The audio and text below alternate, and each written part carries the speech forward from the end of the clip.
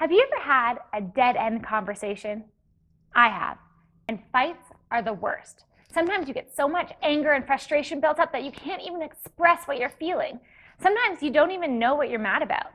This is why we suggest you incorporate active listening into your daily lives. This is going to help you have more meaningful conversations that lead to solutions and help both parties understand what they are truly feeling. What is active listening? Well, we're going to go into it with the help of Everybody Loves Raymond in just a minute. Yeah, can't believe it. It's pretty amazing. You did it. Anything else you need taken care of while I'm around here? No.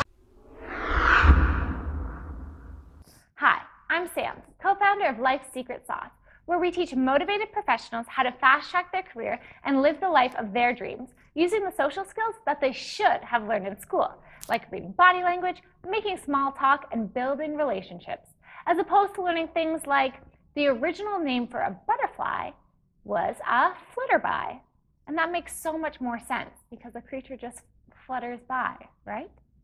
Anyway, today we're going to talk about active listening. And this is a skill that takes quite a bit of practice. And it isn't how we usually talk. It's not how we usually go about having a conversation.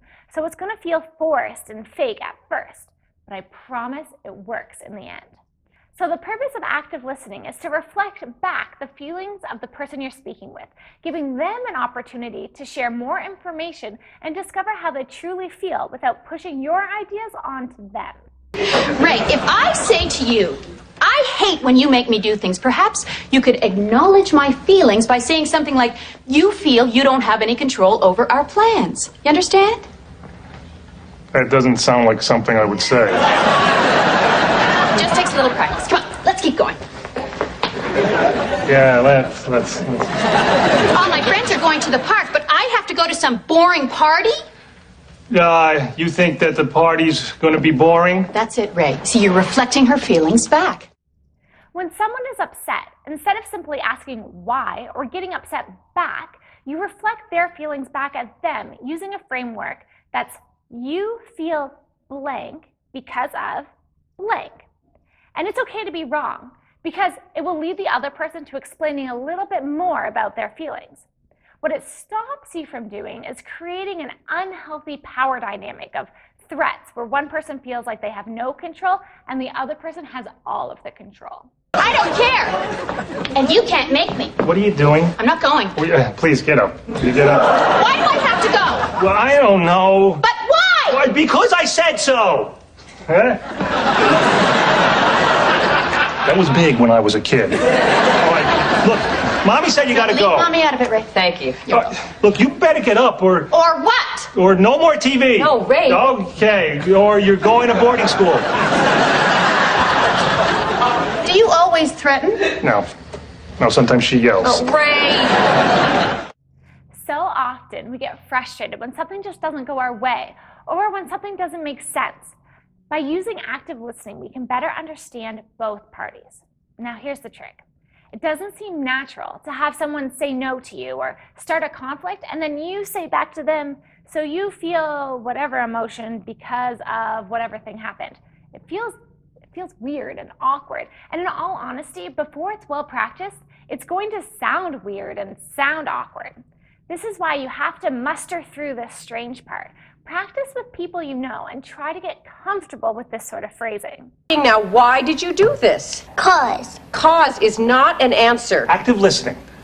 Ray, that doesn't work. It works. I just use it on the worst kids in the neighborhood. Would you look at this? Look what she Just did. try it. Try it. No, Ray. I'll do it. a- You want me to do it? I'll No, do no, it. no, no. Do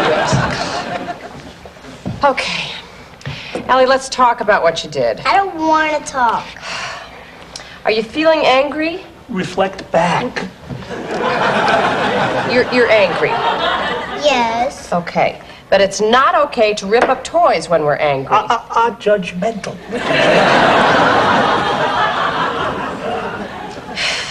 You are angry because. Um, Because it used to be your toy. oh, Yes. I don't like Michael and Geoffrey. I see. I see. you think that um, mommy and daddy pay too much attention to Michael and Geoffrey. Right, okay, I was handling this. They get everything. Right, and you're upset because we gave them your old giraffe.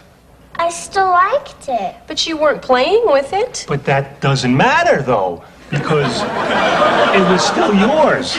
And you're mad because we gave it to Michael without asking you, right? Right. Well, uh, mommy and daddy made a mistake. And, and everybody makes mistakes, right, mommy? Yes, yes, yes. Do you feel better now, Allie? Yes, can I have the giraffe? Well, it's broken, honey.